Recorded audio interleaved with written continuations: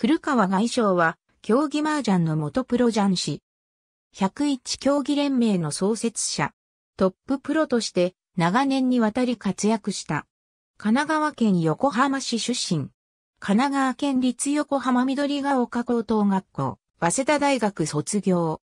2016年1月1日逝去。日本におけるプロ雀士のパイオニアとしてその名を知ることができる。プロの雀士になる以前は、小学館に勤めていた。しかし麻雀に没頭して2年で退社し、無職のジャンゴロ生活を送っていたという。1970年に浅田哲也、小島武夫と麻雀新選組を結成。朝殿から新しい麻雀集団を作らないかとの誘いを受けた小島武夫はメンバー候補として真っ先に古川が衣装を思い浮かべたという。当時、古川はすでに日本麻雀連盟に所属しており、小島が務めていた神田の雀荘、アイウェオの常連で、アマチュアタイトル、東京ハイオイ戦のチャンピオンであった。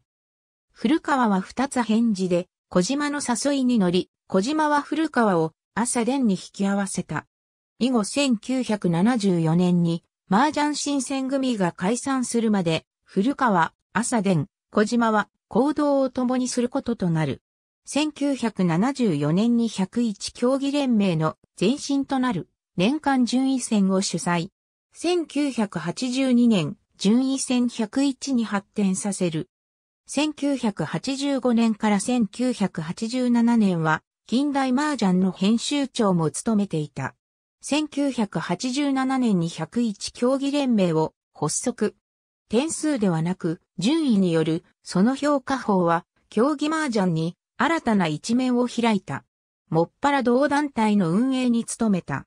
現役時代は体制論という流れを重視する打ち筋で一般の打ち手はもちろんのこと、プロ雀士にも大きな影響を与えた。2009年7月に三重テレビ、小島武夫の実践リーチマージャンに出演。小島武夫と熱い対戦を繰り広げた。ありがとうございます。